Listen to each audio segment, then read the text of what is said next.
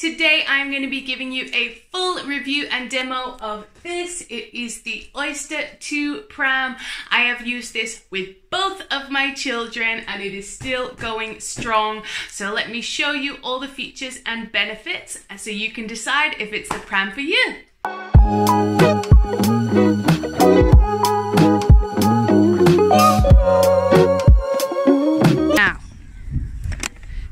Heights. So this is baby fully set up. And then here's the next height here. The third height like this. It is, yeah. And then totally flat.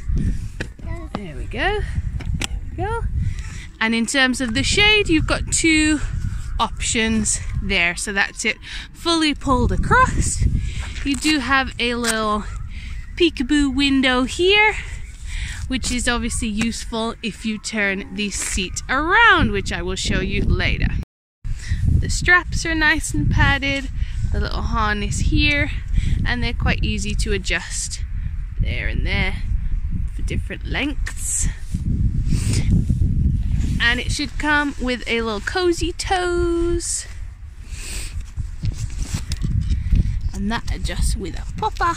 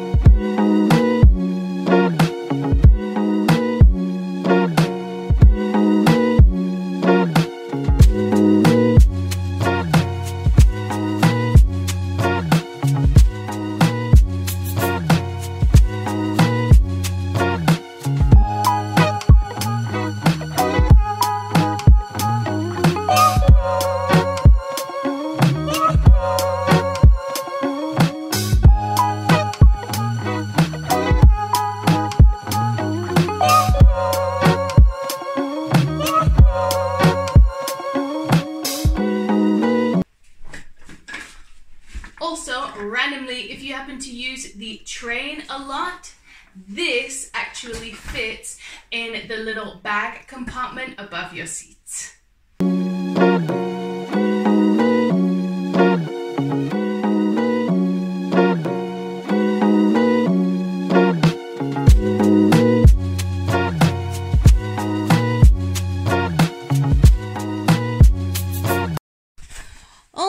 It does come with a newborn insert, which is this, but I haven't really mentioned it because it gives very little support and actually where the straps sit, I found with my children the head support, their head doesn't actually sit there.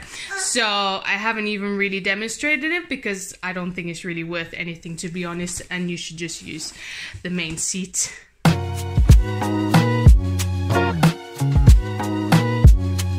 So I find this pram so easy to maneuver with one hand. Um, I just really can't say enough good stuff about it, to be honest. Um, it's 11 kilos, so it's not excessively heavy, and it does feel very, very stable. The brake is pretty simple to use. Just pull it up to release. Push. What's great is that this can extend or retract really easily, you just press this button and it's got two different, sorry, three different heights. So that's your lower height, there's the middle, and there's the highest. I'm 5'9 and it's a really, really good comfortable height for me.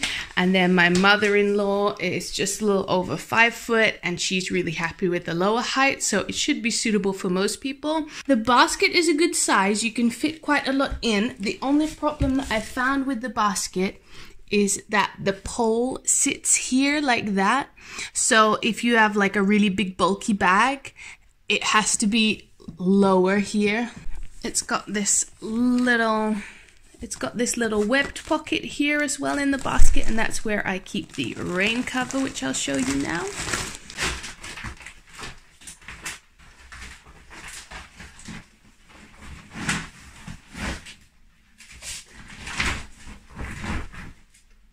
It has a few little velcro tabs that you can then wrap around depending on which way the seat is facing, um, wrap it around different bits. But I found actually that the fit is so snug that it's only on an extremely windy day that I ever have to actually attach it. I usually can just put it over and it stays put. So if this does sound like the perfect pram for you and your family, I do have a link down below. It'll cost you the exact same as it would have. It just helps to support my channel. Do be sure to like if you like this and subscribe for more product reviews and mum content. And I will see you in the next video. Bye!